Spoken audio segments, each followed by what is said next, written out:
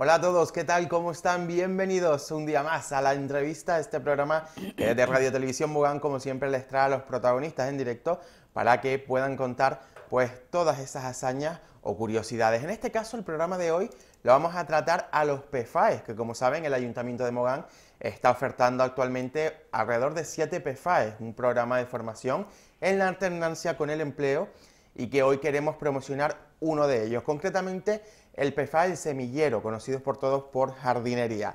Está ofertándose actualmente también en esta gama de PFAE y por eso hemos querido invitar a su directora, Tete Sánchez, para que nos cuente todo ese engranaje que hay dentro del PFAE, cómo acceder a él, conocerlo un poquito más y así pues animarse a aquellas personas que quieran a poder participar y entrar en él y formarse en esta materia. Tete, bienvenida. Muchas gracias, bienvenida. Gracias a ustedes también por invitarnos y apostar por, eh, por esta iniciativa de informar de lo que se está haciendo en el PFAE. Importantísimo porque también lo estábamos hablando antes, es una oportunidad de oro que tenemos aquí todos los vecinos de Mogán, ¿no? El poder formarnos también en un, en un PFAE, pero eh, como todo tiene su truquito, hay que conocer las claves, ¿no? Bueno, Tete, para empezar, cuéntanos un poquito, ¿cómo se puede acceder al PFAE de, jardinería en este caso? Eh, para poder acceder a las opciones formativas de PFAE es importante que las personas estén inscritas adecuadamente en el Servicio Canario de Empleo. Entonces muchas veces la gente desconoce que si no sales en un sondeo, pues evidentemente no tienes opción. Mm. Entonces es importante tener todo actualizado, tanto a nivel datos personales, teléfonos, correos, y no dejar pasar eh, de firmar lo que es la, demanda de empleo y también si tienen posibilidades pues solicitar un tutor de empleo y que te oriente y que informes de que estás interesado en estas opciones formativas. Y tener sobre todo también mm, que se nos escapa actualizados los datos en el INEM, porque claro... Claro, evidentemente ahí te llaman por teléfono y si el teléfono tú por cualquier cosa lo has cambiado, lo has modificado y no has ido allí a decir que ese teléfono ya no es el tuyo, a lo mejor te están intentando localizar en un teléfono donde... Que ya no existe. Que ya no existe. Entonces se pierden oportunidades tanto formativas como laborales. sí, porque es a, menudo esos detalles los solemos olvidar, hay que decirlo. Y normalmente cuando estamos desempleados, pues tendemos a darnos de alta en el, en el INE, en el paro, y, lo, dejamos ahí. lo dejamos ahí. Igual que cuando terminas alguna acción formativa es importante también volver al Servicio Canario de Empleo, solicitar cita y actualizar toda tu formación porque hay una serie de condiciones que se exigen y si cumples o no cumples, sales o no sales en un sondeo. Entonces es importante, primordial, tener todo el tema de la inscripción en el Servicio Canario de Empleo actualizada y al día. Eh, o sea, la comunicación entre el INEM y el desempleado tiene que estar siempre al día y en constante movimiento. Es muy importante, ese paso es importante tenerlo en cuenta. Y una vez todo eso ya se haya realizado, imagínense, pues entiendo que también el, desempleado pues debe de decir, pues oye, pues me gustaría acceder a un PFAE. Eh, el tutor de empleo, pues tú ahí le dices un poco por tu formación o por tu vida laboral, qué es lo que te interesa y entonces hay un poco por sondeo van saliendo y ya, por lo menos el primer paso es ese. Perfecto. Es importante. Pues una vez sepamos esto, que había que repasarlo, lo solemos repasar también en, cada entrevista con los directores del PFAI, que por cierto irán conociendo aquí a medida que vaya pasando los programas. Vamos a centrarnos ahora en el PFAI, el semillero, que es bastante interesante por lo que hemos estado hablando. Y cuéntanos pues un poquito en qué consiste el Vale, en el semillero tenemos dos certificados, uno de nivel 1 y uno de nivel 2. Entonces, dependiendo del certificado al que tú vas, pues te piden unas condiciones académicas. Entonces, en principio, con el nivel 1, el nivel académico, no exigen ningún nivel académico, entonces entran todos ahí sin formación, por decirlo de alguna manera.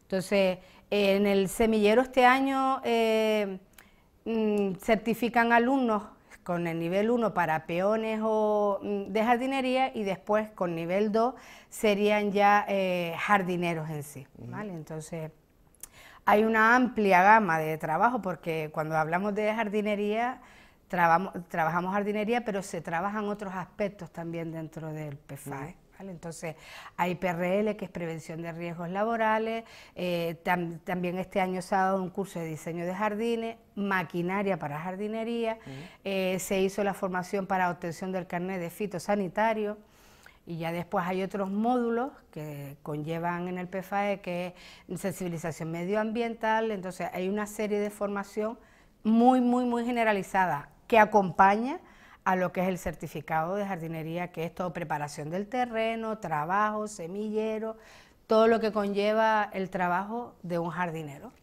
A eso iba, detállanos un poquito que, cuál es ese trabajo de jardinería y en el que saldrían formados aquí Vale, en este principio con el nivel 1 eh, serías un peón o un ayudante de jardinería y con el nivel 2 serías el jardinero sí, ¿vale? Entonces, ahí por ejemplo nosotros hemos estado trabajando con los chicos todo lo que es preparación del terreno, semillero, cómo se, cómo se plantan eh, todas las técnicas con maquinaria, cómo usar toda esa maquinaria para llevar a cabo ese trabajo. Entonces, vamos, sale perfectito para, para el campo laboral. La verdad que es muy amplia la formación y, la verdad que es un gusto ver a los chicos trabajando. Claro, las salidas que después te da el, en este caso el PFA del semillero son bastante... Claro, eh, o sales como peón, dependiendo del certificado que obtengas, y si sales con el nivel 2 sales como jardinero. Tienes dos opciones. por lo tanto... Por evidentemente, si ya sales como jardinero, ya el primero lo tienes. Es decir, ambas opciones, para que la gente un poco lo entienda, se pueden obtener en el mismo perfil. Claro, entonces tú tienes un nivel 1 y un nivel 2. Si sacas el nivel 2 ya se sobreentiende que el primero lo tienes, porque no puedes obtener el segundo sin, el primero. Claro. Entonces, si ya tú apruebas en lo que es eh, todo el certificado de nivel 2, eres jardinero. Si te quedas en nivel 1, porque a lo mejor lo otro no lo has logrado sacar todos los módulos, porque cada certificado tiene distintos módulos formativos que hay que ir superando, porque es verdad que somos trabajadores, pero también estamos formándonos. Entonces, eso conlleva una gana de, ahí lleva una, una, parte formativa teórica y una parte práctica. Entonces ahí están los docentes que ya llevan todo eso y, y hay unos exámenes que hay que superar, evidentemente evidentemente. Y entonces, claro, es la cualidad de este PFI que se va trabajando, bueno, como todo, a medida que vas eh, claro. O sea, te van Tiene una cierta cronología en el tiempo, entonces tú empiezas con el nivel 1, la parte formativa, entonces, y ya después hay un nivel 2 que evidentemente ya conlleva un mayor mm, sacrificio, por decirlo de alguna manera, y más implicación, porque es más complicado. ¿Vale? Entonces, pero si la gente se pone, eso se saca. Pasa que a veces también hay que tener en cuenta que a lo mejor el colectivo que nos llega eh, lleva mucho tiempo sin estudiar y entonces tú los notas que al principio llegan como con mucho miedo, muy temerosos, ay, te teta, y yo digo, a ver, tranquilo, que aquí llegamos de una manera y salimos de otra. Y tú lo vas viendo como a lo, largo del periodo la historia va cambiando y ellos se van empoderando como diciendo, ay, qué razón tenías, Tete, cuando al principio nos decías esto. y ya entonces tú lo vas notando que ya se van soltando, eh, vamos trabajando una serie de habilidades, de mm, hay que decir siempre lo que uno piensa usando las habilidades adecuadas. Entonces ya ellos, ahí la gente va cambiando y va cambiando también se van entrenando a la hora de estudiar. Entonces, los vamos un poco a poquito a poquito y ya, evidentemente, el nivel 2 tiene una implicación mayor que el nivel 1, está claro. Pero eh, hay que dejar claro eso, ¿no? Que al final el PFA está preparado para que las personas que no tengan absolutamente ningún tipo de idea de jardinería pueden acceder porque hay un nivel 1 en el que no se pide ninguna ninguna claro claro claro. O sea pásate de no tener ni idea a ser un jardinero a un jardinero. de los pies a la cabeza como, mínimo te vas como peón de jardinería. Entonces ya si eh, evidentemente hay un nivel 2 pero si la gente se pone se saca se saca. Y qué salidas tiene jardinería, imagino trabajar en hoteles que aquí en el municipio. Entonces hay en viveros, por ejemplo, eh, puedes trabajar en vivero y jardinero ya sería, por ejemplo, eh, en, hoteles. Jardines públicos también, sí, sí, empresas. Sí, sí, sí, Varias de hostelería, no solo es, por ejemplo, jardines de hoteles. No, no, no, jardinería, todo lo que complique la jardinería y en viveros también. También se, en viveros también se puede trabajar. Y luego también contabas que también había una, una parte de formación donde eh, era muy importante aprender y que quizás, pues como comentábamos antes, olvidábamos, que es precisamente esa, ¿no? La de riesgos laborales, la de... Claro, evidentemente... Acceso a línea en este claro, tipo de todo, hay una serie de módulos que complementan lo que es la formación del certificado, porque el certificado es de jardinería, mm. pero el PFA en sí lleva otra formación que acompaña a ese certificado. Entonces hay formación, un PRL, prevención de riesgos laborales, porque evidentemente somos una formación que implica una uniformidad, unos EPI, calzado de seguridad, mascarillas, gafas, entonces todo ese tipo de historias. Hay que, tiene una formación y hay que hacer PRL, después hay otra parte de orientación laboral, en todo lo que es búsqueda activa de empleo, entonces se trabaja todo, es un trabajo muy integral. Tienes una parte formativa en lo que es la especialidad de jardinería, pero después acompaña otra formación, que es el tema de habilidades, todo el tema de búsqueda activa de empleo, porque al final el final del proyecto lo que se interesa es que las personas tengan las habilidades para decir, yo ahora tengo una formación, ahora yo me tengo que vender al mundo y yo tengo que intentar que a mí el mundo me coja para trabajar. Entonces hay que también ayudarlos a decir qué vías hay que utilizar, cómo tiene que ser ese currículo, qué tienes que poner en un currículo para que sea atractivo para la persona que le llegue ese currículo, como mínimo que te llame. Y después que tú defiendas una entrevista. Entonces, también los trabajamos esos aspectos con ellos. Que es algo importantísimo, ¿no? Porque a menudo, pues también eso es algo que falla en muchos, ¿no? Claro, que decir, ese miedo a las que no decir, cómo vendernos, eh, claro, entonces cómo aspirar a los puestos. Al fin y al cabo somos un producto y queremos que nos compren. Y es importante estar preparado. Entonces, cómo preparar una entrevista, cómo afrontarla, entonces eso lo conlleva el módulo de orientación laboral. Bueno, este PFAE lleva ya en el municipio un tiempo, no es la primera vez que se imparte. Hay casos de, éxito ya, imagino, ¿no? De gente que se De jardinería que yo sepa, este es el primer año. Ah, sí. Ah, pues este es el, este es el, no, este es el primer año de jardinería. Pues un error, perdón. No, no, es de jardinería, pero probablemente en otros PFAE eh, ha sido así, porque tú vas, acudes a puertas abiertas de empresa y llevas a los chicos a que superen empresas y ya ellos se van acostumbrando y se quitan el miedo a afrontar una entrevista de trabajo, que eso es importante, porque dice, ay, te es que me llamaron a una entrevista, digo, a ver, ¿qué vas a decir? ¿Qué no vas a decir? ¿Qué currículo? ¿Cómo vas a ir vestido? Mm. Porque muchas veces, ¿no? Nos vamos a una zona de puertas abiertas y me aparece vestido y yo le dije, no, tú vas a tu casa y te cambias, así no vienes conmigo. Entonces, Pequeño, ah, pero, detalle. pero te, te digo, a ver, que la imagen no se puede ir a una entrevista de esa manera. Entonces, son cosas que aquí y aquí y aquí se van puliendo y, que van enlazadas también al final. Al final es todo qué decir, qué no decir, cómo decir, porque todo allí estás en el centro y, y, te hablan y tú dices, tú te piensas que eso son maneras, entonces es importante trabajar y ir puliendo a todos los chicos, todas las personas que participen y después ir entrenándolos en las habilidades laborales, la puntualidad, cómo llegar, cuando no voy, qué es lo que tengo que hacer, tengo que llamar.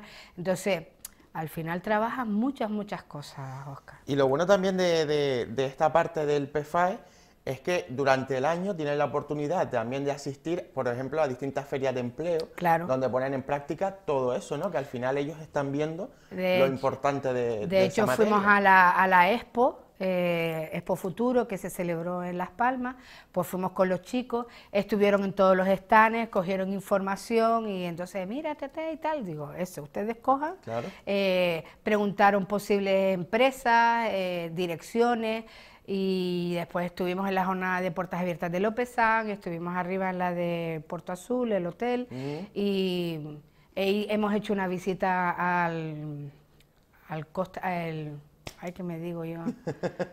se olvidó, se olvidó. Ya me olvidé. al cordial. Al, cordial. cordial Mogán. Estuvimos ahí también con los chicos y vieron las posibilidades laborales que... O sea, que salidas hay prácticamente. No, no, no. Eh, salidas se han dado. Ha habido mucho, hemos tenido mucho movimiento, la verdad que sí. Después trabajo en el, en el municipio también hemos tenido, hemos ido a la, a la escuela de capacitación a hacer un, el examen de, de fitosanitario. Entonces, movimiento ha habido. Estuvimos en el vivero de Mogán, ahora vamos a hacer otra visita al vivero, vivero Godoy.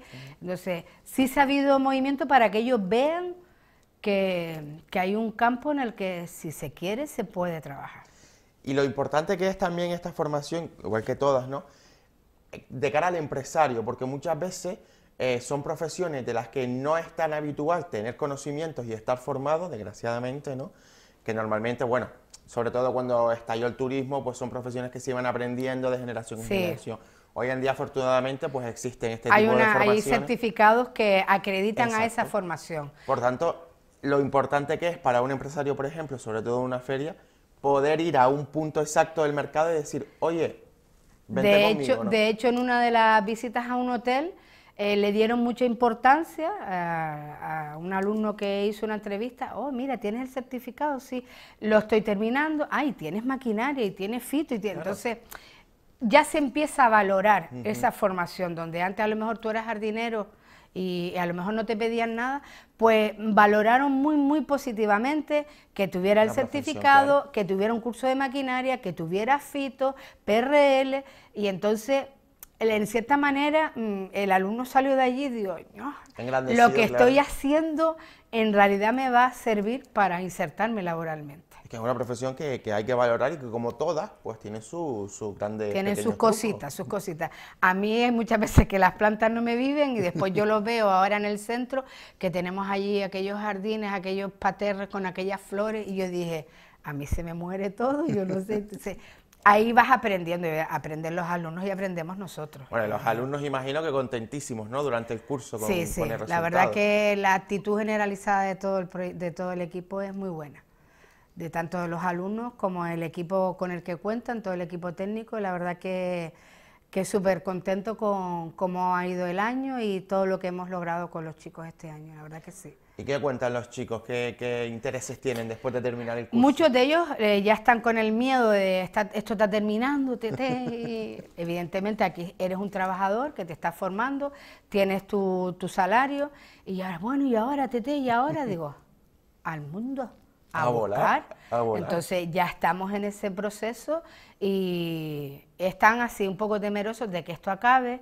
Claro, estamos ahí, estás arropadito porque tienes un equipo que te orienta, entonces ahora te soltamos aquí, pero tienes las habilidades y tienes las herramientas para afrontar eso, ¿sabes? Que no deberían tener miedo a afrontar eso, porque habilidades y herramientas se les han dado para, para que ellos por su propia pie pues vayan echando currículo, que enfrenten una entrevista de trabajo y entonces ellos muchas veces muchas veces se lo tienen que creer y entonces ahí hay que decir, creemos más nosotros en ellos que ellos mismos. Y él dice, ay Tete, digo que sí puedes, venga que puedes, yo no te voy a exigir más de lo que puedas. Entonces dice, ay, es que tú crees más en nosotros que nosotros mismos, digo. Entonces, al final del proyecto ellos se dan dando cuenta, coño, Tete, es verdad, como... De lo que era capaz y no lo sabían. Sí, sí, sí, yo entré aquí y ellos se van dando cuenta de ese cambio, que es lo que a mí me gusta mucho. Claro, eso también, hombre, eso es importantísimo, sobre todo a nivel personal, de que uno tiene que creer en sí mismo siempre y ver que es capaz de, Al final del proyecto hay personas que tienen, sufren ese cambio. Claro que sí. Sí. Tú recomendarías, por tanto, evidentemente, este PFAE, ¿no? Yo si tuviera que, decir, ay, evidentemente a mí me gusta la jardinería.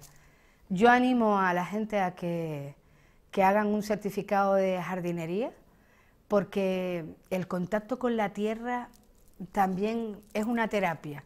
Y y la gente cambia. Y entonces, si encima te están formando y te gusta la jardinería, porque muchos de los que chicos, las personas que tenemos allí, alguno que otro tiene algún terrenito, eh, que si planta sus aguacates, le pregunta al compañero, oye, mira, que tengo esto, y mira, y me salió esta cosa que es la planta, que es, entonces ya empiezan a mirar plagas y tal, a investigar, oye, pues dale este tratamiento o hazlo así. Y entonces eh, trabajar con la tierra es terapéutico ¿eh? y, no he visto a nadie que me diga, no, a mí la jardinería, no, pero es muy terapéutico y a mí personalmente me gusta mucho este PFAE. Y la ventaja de que volvemos que en el municipio, ya no solo a nivel profesional, sino a nivel personal también, para una finca o, alguien que la tenga o que pueda trabajar para otro vecino. Claro la importancia de, saber, de saber y, conocer aplicarte y en aplicar, tu municipio. Sí, hay muchos de ellos que, ah, pues yo tengo un terrenito, pues yo estoy plantando esto y tú entonces a veces,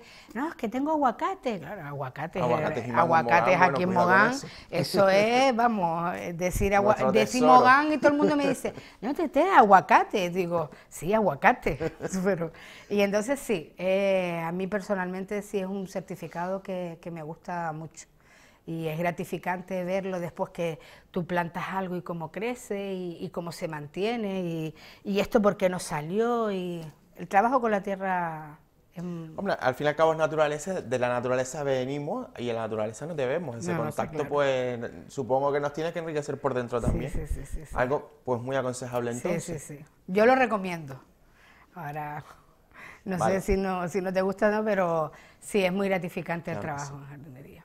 Y aquellas personas que puedan estar viéndonos ahora entonces y que digan, pues bueno, yo creo que puedo reunir los requisitos, aparte de tener todo en el paro, todo al día y demás, ¿hay alguna otra vía donde En, puedan acceder? en principio sé que es a través del Servicio Canario de claro. Empleo que sale la oferta formativa y sale un sondeo. Entonces, lo importante es aparecer en los sondeos. Entonces, el sondeo es a través del Servicio Canario de Empleo. Teniendo todo al día lo que comentábamos antes. También, es evidentemente, también es importante pues las listas de, de la Agencia de Desarrollo Local, estar apuntado y actualizado, porque a veces nos apuntamos en las historias Y nos olvidamos. y nos olvidamos. No, no, entonces no, ya tú le dices, pero tú lo renovaste, ay no sé, tete, tú. Entonces, no, no desatender ese tipo de historias, ponerlo siempre en el calendario, renovar demanda, pedir hora con el tutor de empleo, ir a la agencia de desarrollo local y, oye, mira, estoy aquí, no sé qué, porque... Insistir un poco también, que, Sí, que sí, sí. quieres moverte, porque al final ese es el trabajo de un desempleado de toda la vida. ¿no? Buscar trabajo- En activo constantemente. Buscar trabajo es un trabajo. Exacto. No se puede, eh, de la misma manera que le decimos a los chicos, tú no puedes mandar currículos y dejar a ver. No, no, no. Tienes que mandar currículos y hacer un seguimiento, apuntar qué fecha lo mandaste, si lo mandaste a alguien en específico. Si ves que pasa una- un tiempo y no tienes señales, tú estás en la obligación de decir, oye, mira, a lo mejor no te llegó. De alguna manera, de alguna ¿sabes? manera, Tienes que ver intentar que hacer ahí, ver claro. que, que tienes interés en el puesto, porque a lo mejor con la, le entró en la carpeta de spam y no lo vieron. Sí, pueden pasar, pasar mil cosas. infinidad de cosas. Entonces, si es verdad, no se puede mandar un currículo, no se puede mandar una oferta y dejarnos en el olvido. Eso no puede ser así porque entonces no, hay que estar, hacer un seguimiento y con prudencia Mm. ver dónde está eso. No, tampoco vamos a estar ahí. mm, Hombre, día sí día también. ah, no, pero sí, si tú ves, agobiando si tú tampoco, ves que pasan sí un par de poquito. semanitas y no sabes nada, sí es importante hacer un seguimiento de todas esas tareas que estamos haciendo porque Qué pena, ¿no? Que a veces se pierdan oportunidades como estas, que son, pues, prácticamente oportunidades de oro en un Sí. mundo laboral como el de hoy, por esos pequeños detalles, ¿no? Eh, no yo me he enterado de me he enterado de alumnos que ay tío, yo y yo no me enteré de esto y digo bueno vamos a empezar. Tienes la demanda sí se te pasó en algún momento firmar sí digo pues ya está ahí la perdiste Qué pena. y han ahí perdido, se le viene el mundo y abajo, han ¿no? perdido Digamos. oportunidades, tanto laborales como formativas, por no tener, eh, y, es- y al final es la importancia, porque hay una aplicación que también les decimos, descarguémonos la aplicación del Servicio Canario de Empleo, ahí viene formación, vienen, vienen ofertas, entonces puedes, puedes hacer, renovar la demanda, Eso- todo, entonces eso es súper curioso. muchos ve- muchas veces a los alumnos digo, a ver, tanta historia con el móvil para arriba, para Sí, abajo, sí. y después... Que si Instagram, que si Facebook Después que si tengo el Facebook, que, si, que con todos mis respetos a Claro, por porque las redes sociales por son supuesto, importantes, por supuesto. pero después eh, aplicaciones tan importantes como esa, anótete y esa aplicación, venga, baja, trae la tarjeta, tan, venga, mira, aquí tienes para renovar, aquí tienes formación, aquí te vienen of- eh, ofertas de trabajo. Esta aplicación es súper importante, igual que la del Servicio Canario de Salud, para solicitar citas médicas que estás llamando, y digo, pero si tienes una aplicación donde tú pones la hora, a primera hora o a última hora para que no me faltes al puesto de trabajo, sabes que al final hay pequeñas herramientas a las que les vamos dando a los alumnos para que ellos vayan siendo mucho más capaces. Y herramientas que están en su día a día, es decir, en el móvil, una aplicación que estamos todo, cuántas veces pasamos, cuántas horas pasamos con el móvil en las manos, ¿no? Pues al final tampoco, ya quedó atrás eso de estar pidiendo horas, de ir al INE. Ya el 90% de los trámites es por, por Muchas veces, por ejemplo, para el tema de competencias clave, porque los de nivel 1 también los ayudamos a obtener lo que es competencias claves de nivel, entonces los preparamos para matemática y lengua. Entonces, ay mira que tienes que estar inscrito en mejora de empleo, ¿y eso qué es? ¿De qué es un eso? Bueno, pues hay que apuntarse, hay que llamar Servicio Canario de Empleo, pedir cita, pero si yo ya estoy trabajando, digo, sí, pero hay que estar como mejora de empleo, entonces ya eh, son cositas pequeñitas que, ellos van aprendiendo. influyen muchísimo. influyen mucho lo más importante entonces para este tema es, tener los datos actualizados, pero también que sepan que pueden pedir como un orientador, ¿no? Sí, hay tutores, hay tutores laborales en el Servicio Canario de Empleo. Te informan de todo. Entonces a lo mejor te tú llevas toda tu, formación y, y, él te dice, pues mira, pues encamínate por aquí, encamínate por allí, o mira, esta posibilidad tiene. Ellos te pueden decir, si hubiese PFAE para el próximo año o lo que sea, pues ellos te van orientando y tú ya sabes por dónde encaminarte. Pues perfecto. Yo creo que ya tenemos... Claro, claro, vamos, que no me venga nadie en algún momento a decir, mira, Tete, digo, ¿Tú te apuntaste? ¿Tú te apuntaste? No, a partir de ahora también podemos decir, ¿tuviste la entrevista? ¿Tuviste la entrevista de, Entonces, sí, es, eh, parece, que, parece que no, pero eh, la importancia de estar bien inscrito en, el Servicio Canario de Empleo es primordial. Claro que sí. Los teléfonos, cuando perdemos el teléfono, pero en todo, en la seguridad social, hemos querido pedir una vida laboral y la quieres pedir por el teléfono y te dice, este teléfono no es reconocido, porque ya tú estás poniendo el nuevo y a lo mejor tienes en la seguridad social el viejo. Entonces, es muy importante cuando se cambia de teléfono, cuando se cambia de correo, cambiar y actualizar todo en el sistema público que haya, tanto médico como laboral. Hoy en día, eh, tener el teléfono actualizado es como tener el DNI actualizado. Sí, sí, sí. sí. Porque para todo te piden el teléfono, contacto, y aplicaciones. ¿eh? Date cuenta que si aquí si sales en un sondeo, probablemente la manera de la que te llamarán es por teléfono. Por teléfono evidentemente. Y si el teléfono lo tienes mal, pues probablemente no te, lo, no te podrán localizar y, pierdes una oportunidad importante. Bueno, Tete, para ir acabando la entrevista, si quieres mandar algún mensajito a, a esas personas que puedan estar oyéndonos y todavía estén ahí, ay, mira que no sé si apuntarme, no apuntarme, lo que decíamos antes, volver a estudiar, eh, enfrentarme a ese mercado laboral, ¿qué le diría? Yo mm, sí es verdad que le diría a, todas aquellas personas que no tengan formación, que no, que no le cojan miedo, que en este formato que es en los PFAE hay profesionales, tenemos, tienes un equipo ahí que te va a apoyar y te va a ayudar. Entonces muchas veces mm, los ves con miedo. El miedo te paraliza, entonces que no le tengan miedo si no tienen formación. Mm. Sabes que muchas veces sabemos cómo llegamos, pero sabemos, lo importante es ver cómo salimos. Y ahí tienes 11 meses y siempre vas a llevarte algo más de lo que traes. Porque yo muchas veces los alumnos me dicen, ay, Tete, es que al final no pude aprobar o, no saqué competencia. Digo, mm, ¿sabes más de cuándo viniste? Y dice, sí, digo, pues quédate con eso. Es importante que ellos también valoren el tema formativo. Y si este año no lo has podido sacar, pues mira, hay otra opción el año que viene a nivel formativo, a lo mejor eh, en la escuela de adultos. Y entonces, que no le tengan miedo al tema de yo no he estudiado nunca, es que cómo me voy a meter yo ahí a estudiar. Y está todo preparado, digamos, para... Sí, está, evidentemente, tienes un equipo ahí que te apoya y que no le cojan miedo al formarse, al, y al estudiar y a los exámenes. No, yo creo que eso es lo que más paraliza muchas veces a, las personas, que se cogen miedo y dicen, ahora yo me voy a poner ahora con la edad que tengo a hacer exámenes. Digo, es que uno tiene que... a ver, para estudiar, para estudiar... Hay que estar en El límite es la muerte, como digo yo. Entonces, lo más importante para mi modo de ver es que no, le tengan miedo a, la formación, a formarse y que ahí vamos a estar apoyándolo en todo lo que puedan y formarse siempre va a ser un, punto a favor. Evidentemente te abre campo. al final la formación, por los motivos que sea, ya, como dices tú, sabrás algo más, ya tienes un punto más a favor. Oye, y esa experiencia de haber roto el miedo y salir adelante, ¿no? Y seguir en el camino. Y abren abanicos, está claro, de trabajo. y, y cada día más, ya lo estábamos hablando antes, ¿no? Que al final se valora muchísimo por parte de las empresas pues que tengas conocimiento en según qué materia, pero en este caso en jardinería. Oye, pues lo tenemos todo. Eh, de jardinería. Eh, en el municipio se oferta bastante la jardinería, tanto profesional como personalmente. Aprendes de todo. Todo, ¿Qué más se puede pedir? Somos, vamos. Solo queda ir a estudiar. Eso, ir, acudir Y, estar ahí con ganas, con ganas de, formarte y de, y de trabajar. Porque es verdad que te estás formando, pero no podemos olvidar que somos trabajadores y como trabajadores tenemos obligaciones también que cumplir. Muy bien. Pues muchísimas gracias, Tete, por, por asistir y brindarnos esta oportunidad de informarnos, de, conocer un poquito más de cerca CPFA, en este caso del semillero, de jardinería, como lo conocemos todos.